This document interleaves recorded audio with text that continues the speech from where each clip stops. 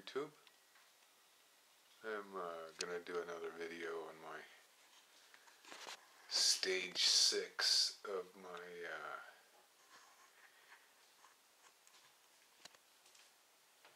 my uh, my motor, my uh, dual opposing rotational magnetic motor. Um, the last video I put out, stage five, I only had uh, the front plate working, you know, with the eight with the eight coils on the new circuit, and I was going to put uh, the second drive plate operational in the next video. Well, when I got that together and I got everything timed, I start having a little difficulty. A couple of failures. Coils. I started blowing. I got this thing up uh, to around 3200 RPMs and uh, start losing coils. Or, not coils, but, well, yeah, coils, but losing the coils because the magnets start coming out of the out of the rotor. It was destroying the coils and stuff. So uh, happened twice, and I got everything rebuilt, and so now I got it back together, and I'm going to right here live on your TV show. I'm gonna fire this thing up and see if my rotor modifications uh, will handle the higher RPMs. So that's that's where I'm at right now. So without further ado, let's get some. I'm gonna take it easy. I'm gonna start it. I'm gonna start at 20 volts. Make sure my car's all the way up and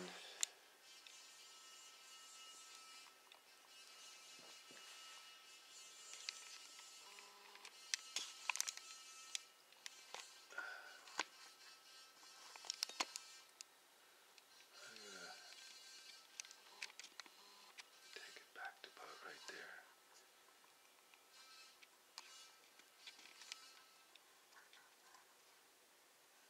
Okay, here we go. Contact, 20 volts.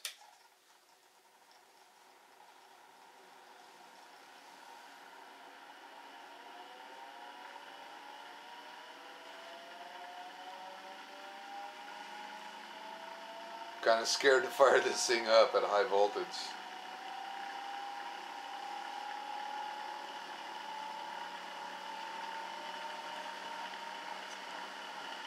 Voltage tends to be low because I guess the coils in the circuit ain't taking the voltage. Current is high until it starts developing a lot of RPMs, then the current drops and the voltage increases. Well, this thing is humming now.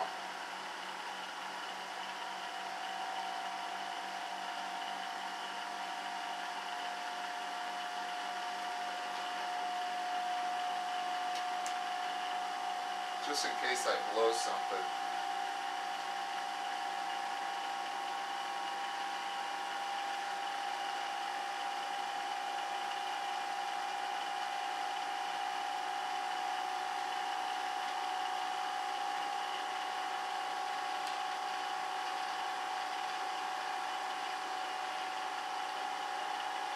Thirty forty four.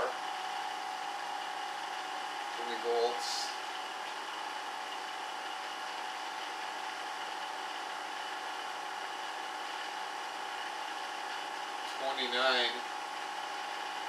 just over 2900 over here. Now that, that side over there, the coils have a little bit higher resistance than the coils on this side. This one goes faster by about 175 up to 200 RPMs. So I have to go back in and trim those coils on, on this second plate so that they match the same as these because it's clearly having a difference. Well, this one's at 3100 10.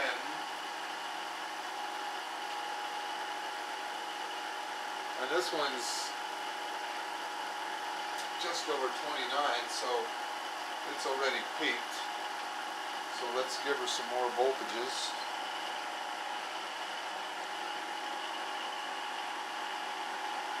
Go up to 22. I should have a face shield on.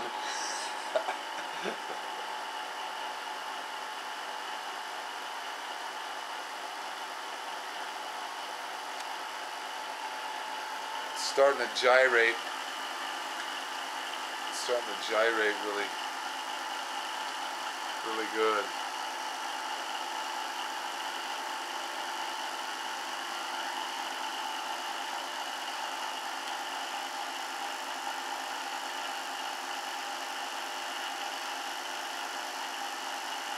This one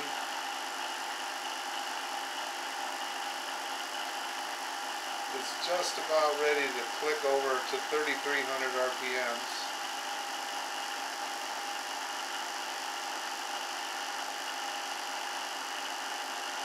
Stabilized right at uh, 3297. 32, uh, that's a, actually a 32, that's a 9, not a 7. 3297.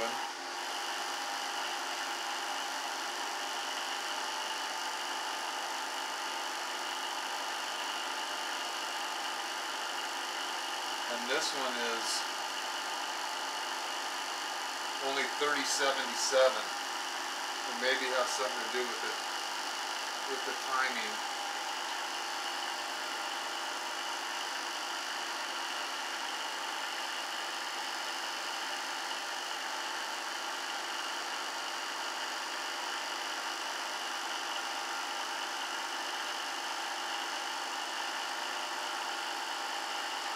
Thirty seventy seven.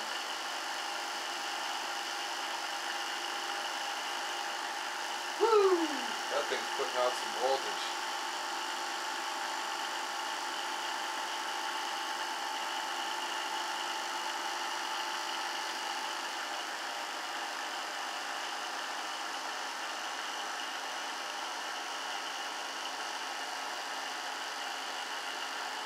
Can't put your hand on both of those, man. It puts out serious voltage. I'm gonna turn it up to 30. I mean, uh, 24 volts. This is where things went bad last time.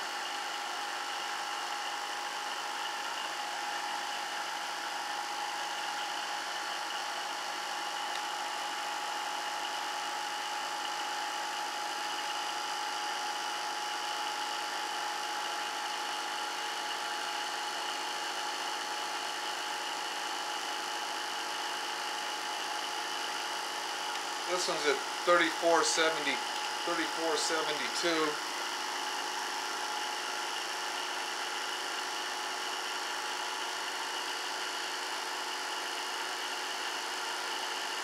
Thirty-one eighty-eight. Uh, thirty-one seventy actually. What that is. Thirty-one ninety. Thirty-one eighty-six. Okay. Thirty-one eighty-six. Not quite the 3200 RPMs where it blew before. 3479.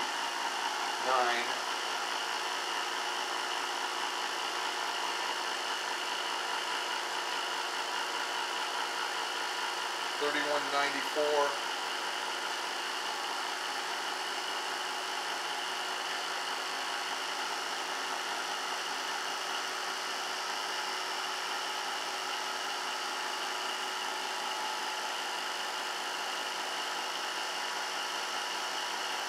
At 3275. That's really good news that it hasn't blown.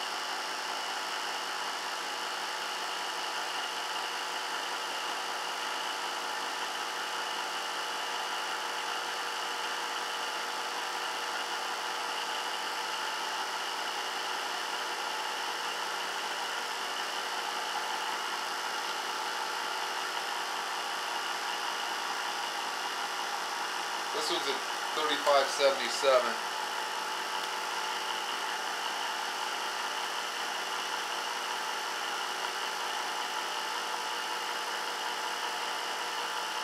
Uh.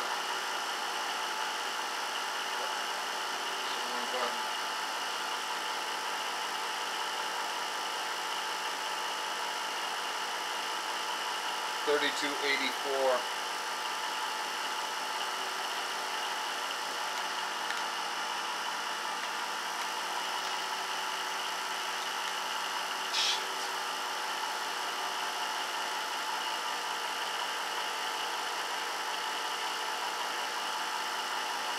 Thirty-three hundred.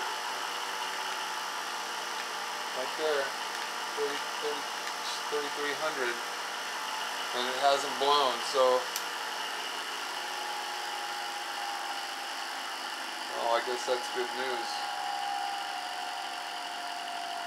Well, that's really good news. Because it got the 3200 before, man. It just threw out two magnets.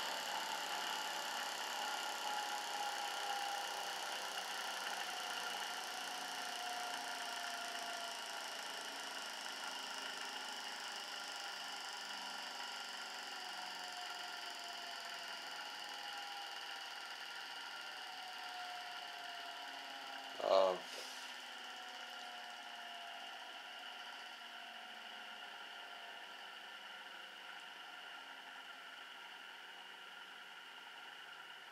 really interesting thing though is this power supply.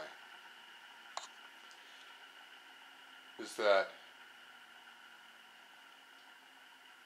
I don't think it supplies enough enough current, enough power. And the reason I say that is because if I disconnect the hull from this second plate, then the FETs um, they'll never trigger, they'll never enable. Um, so if I run just this front plate and it's able to use whatever power it needs without being starved for power from this other plate or through limitation in the power supply. When I run just this plate, I just listen to the tone.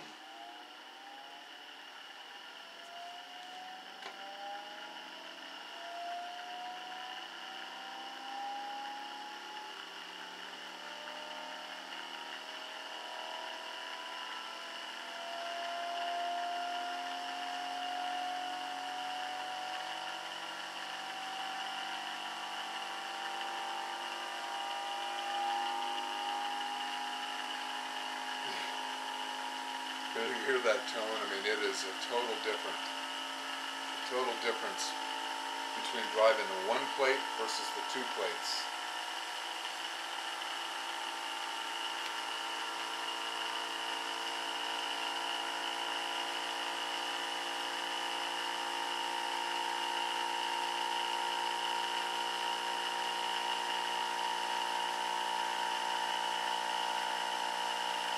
Give it some time to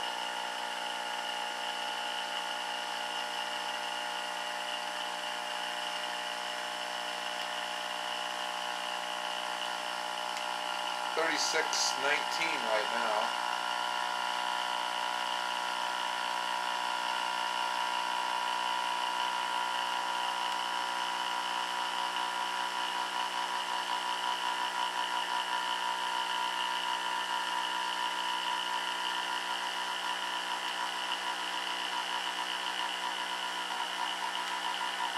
Thirty-nine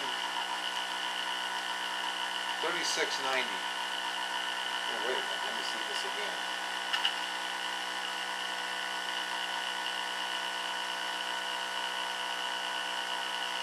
Okay, I got thirty-seven forty-seven. Thirty-seven forty-seven.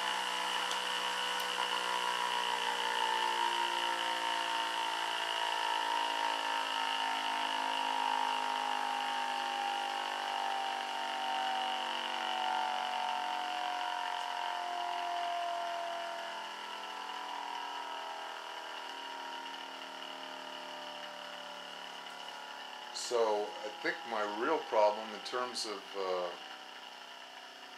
both of the coils um achieving maximum uh, rotation is uh, is a power supply issue.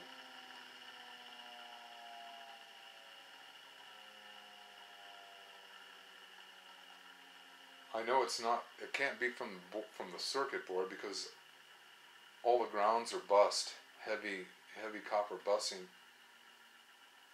Um, I don't know. I'll have to I'll have to figure that out anyway. Well, that's the uh, that's half. That's part of the update. The other part of the update is I wanted to uh, tell you guys where I'm going with this because I know I haven't really given much information on where I'm going with this. Um, let me see if you guys can see what I'm looking at here. I'm gonna show you my. Uh,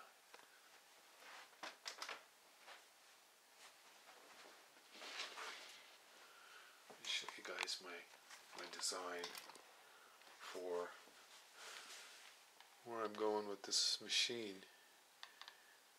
Of course, these are all the mach- you know. See, everything I do, I I design it on a computer. Every project I've ever done, it's all on this this file, and I got one other file. This is the way it sits right now. A dual. It's a dual stage, dual plate, dual rotor. But you know, there back in like 1931, you know, Hitler had this guy named Viktor Schauberger who was developing this magnetic propulsion, magnetic levitation propulsion type motor, and it was based on three magnetic plates that all counteropposed in rotation. I can't find anything on it. I can find a couple sketches on it, but that's that's what I'm doing. That that's what I got. I got three my next stage is going to be three rotors. And so it's going to be up to me to do the experiments on the interior uh, magnetic configuration as far as opposing or repelling uh, as I modulate uh, the field waves in between these rotors. And that's, I guess that's where I'm going with this. Um, you know, fart around with different configurations and see if I can come up with something kind of cool. But I guess that's what we all do, right? Is fart around with stuff and see if we can find cool stuff. and that's it. I'll keep you guys. I'll keep you guys updated with uh, with where I'm going, what I'm going to do, and, and all that kind of stuff. So, thanks for watching. Uh, like always, you guys uh, make sure you have as much fun as you can, and uh, guys be good. And, uh, catch you next time.